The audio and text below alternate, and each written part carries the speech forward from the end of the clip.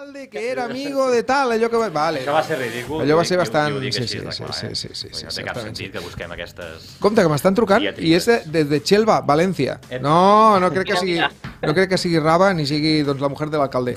Eh, D'altra banda, eh, tinc aquí un comentari que em va bé per eh, doncs, eh, introduir el que vindrà ara.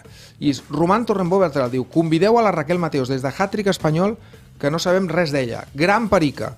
Doncs mira, des de Hàtric Espanyol, programa que va venir després de Perico en televisió, eh, doncs eh, aquell que ja ha passat, la Raquel vindrà algun dia, i el hat-trick que tindrem ara serà hat-trick Salvatella, un una secció que no té careta, però que la tindrà. I el que sí que té és una música que canviarà ara mateix en pic a l'amic Aleix faci així amb el botonet, ja veuràs.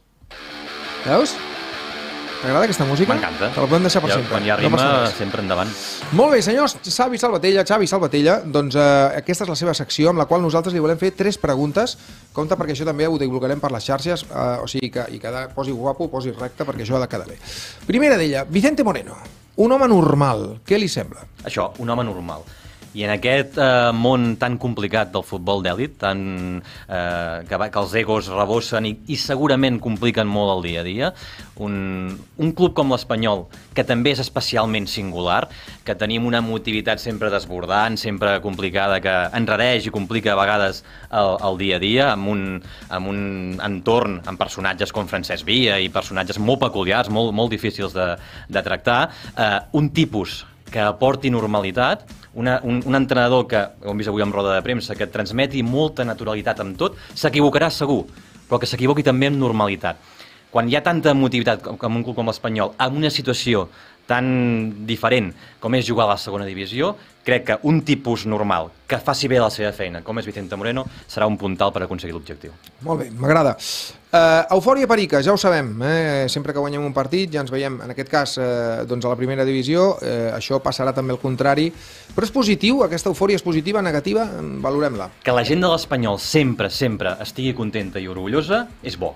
Ara, ha aquí hi ha una barrera, jo l'he viscut com a professional del club, que és molt important que sempre es mantingui d'en peus, que és el vestuari, la porta del vestuari. O sigui, quan un vestuari eh, entra l'eufòria absurdament, acostumen a arribar als mals resultats perquè es perd la tensió competitiva, es perd la capacitat d'analitzar els rivals, es perd tantes altres coses. Si mentre les coses vagin bé, ens situem en una bona posició, tant de bo com deia el Joan abans, eh, enca encapçalem la classificació en tot moment, la gent està contenta i està eufòrica, sensacional. Què, què volem voler més els perius? Que la, gent, que la nostra gent estigui feliços. Ara, la clau és que aquesta eufòria no es desbordi en el vestuari i siguem competitius des del primer fins a l'últim partit. L'eufòria que es quedi esperant a la porta del vestidor. que Jo Tal crec qual. que és una, Gran és una bona anàlisi. política.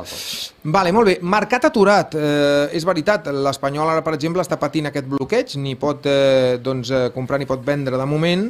Això és positiu o negatiu?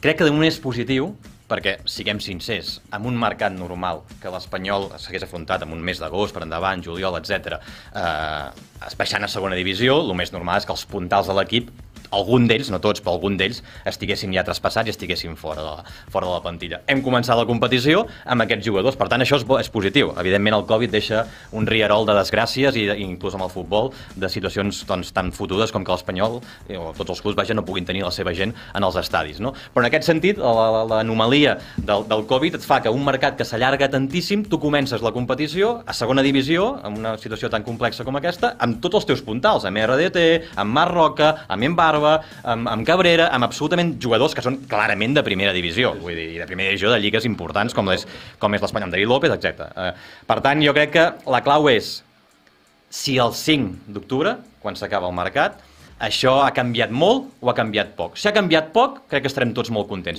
Si ha canviat, si ha canviat molt, haurem d'analitzar-ho uh, fredament. Degudament.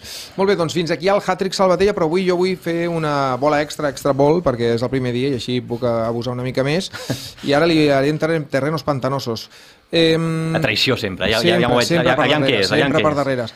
Eh, política de comunicació del club. Darrerament eh, hi ha hagut força crítiques, no tan centrades amb l'actual eh, director de comunicació, que no sé si porta un mes, encara, encara no, Encara no. sinó una mica doncs, a, a, una mica doncs, el, el, que, el devenir, no? a com eh, ens han anat portant això i les dificultats que tenim els professionals i també el propi públic per accedir als jugadors. Què pensem d'això? Jo crec que la, la comunicació del club està generant molt bon contingut en, els últims, en les últimes setmanes. crec, perquè ho heu fet arribar a vosaltres, doncs, que hi han temes que es podrien polir des del punt de vista de la participació dels futbolistes en, en entrevistes, etc. Jo crec que amb això, i ho he viscut en, en el club, eh, és com tantes altres vegades en la vida. És diàleg, és, és, és posar-ho sobre la taula, és parlar-ho obertament, i si en l'Espanyol, vosaltres ho sabeu, amb qualsevol director de comunicació, amb qualsevol cap de premsa, s'ha solucionat sempre i hem trobat, i hem trobat eh, punts d'acord. En aquí haig de dir una cosa, i és fer un calbot en els meus, eh, en els nostres estimats companys periodistes. És molt més important sempre parlar amb un director de comunicació, parlar amb un director general, parlar amb un directiu de l'Espanyol i fer-ho a la cara i dir les coses tal com són, que no els famosos tuits rajonetis que no porten en lloc més que enrarir l'ambient. Per tant, jo us recomano que sí, que si, que si realment creieu vosaltres, jo no ho visc, eh? jo no estic ara dedicat a la informació de l'Espanyol en el dia a dia, però que es poden millorar coses des del punt de vista de la participació dels, dels, dels, de l'entrenador, dels jugadors, dels dirigents en, en mitjans de comunicació com aquest o com tants d'altres que fan informació de l'Espanyol, no. s'han de parlar les coses, simplement s'han de parlar.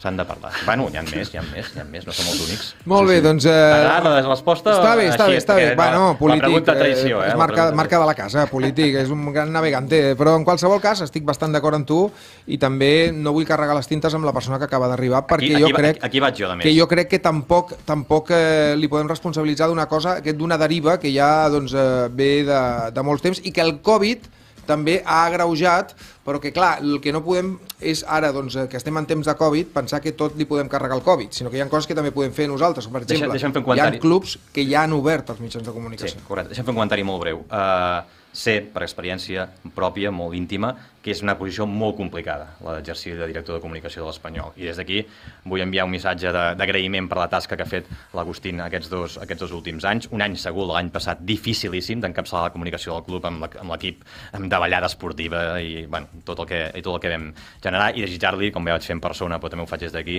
molts èxits i, i molta sort que ens tindrà pel que, pel que necessiti el Sergio, que estic segur que farà una molt bona etapa, una etapa prolífica al capdavant de la, de la direcció de comunicació de l'Espanyol, perquè el veig un tipus preparat, amb experiència i tan perigo com tots nosaltres.